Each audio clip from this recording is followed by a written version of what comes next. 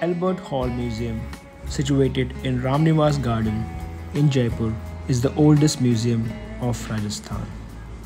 The museum building is designed by Samuel Jacob in Indo-Saracenic architecture with Rajput influences. The superb collection is a result of the efforts of Hendley who wanted to preserve local skills and crafts and showcase the best craftsmanship to other places for the people of Jaipur. The collection includes arms and armor, sculptures, international art from Japan, Sri Lanka, Myanmar, Hungary, Germany, and Austria. It also has a collection of pottery, paintings, carpets, jewelry, and musical instruments.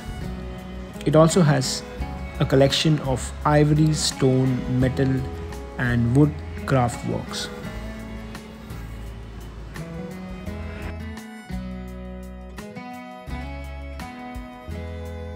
Albert Hall was opened to public in 1887. It is named after King Albert Edward VII, during whose visit to the city as Prince of Wales, its foundation stone was laid on 6 Feb 1876. Rajasthan was under princely rule and the practice of parda or veil for women was widespread in the region. In this contest, it is worth noting that every Friday was reserved for women visitors. For many such innovative museum practices, Albert Hall became famous and many of its features were highly appreciated even in the West. But the major attraction of this museum remains its exclusive collection of art and crafts. The collection owes much to the vision inspiration and efforts of Maharaja Sawai Ram Singh II and Maharaja Sawai Madhav Singh II. The museum building is made up of marble and stone. The outer walls are painted with scenes of ancient civilization. The upper part of courtyard has extracts from religious texts such as Quran, Bible and Indian epics inscribed on walls. An Egyptian mummy is the main attraction of this museum.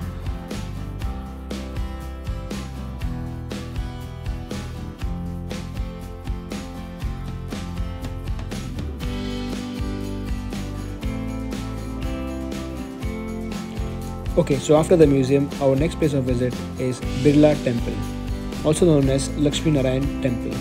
It's a Hindu temple located in Jaipur's Tilak Nagar near Moti Dongri Hills. The temple is made of white marble.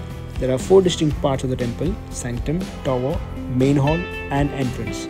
It features Hindi deities inside, particularly Lakshmi, Narayan, and Ganesh. Also, the Christ, Virgin Mary, Saint Peter, Buddha, Confucius, and Socrates on the outer walls. Statues of its founders, Rukmini Devi Birla and Brajmohan Birla, lie in outdoor in covered pavilions facing the temple with hands folded in Namaskar Mudra. Below the temple lies B.M. Birla Family Museum as well as Sri and Srimati G.P. Birla Gallery. Both contain photographs of the temple's construction and Birla family's philanthropic contributions as well as the treasure belonging to the Birla family. Next is Patrika Gate. It is a visual delight that showcases the city's rich heritage and artistic spirit.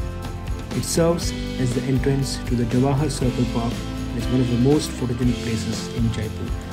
The gate, one of the nine gates in Jaipur, is made out of pink sandstone on the outside and features a colorful walk.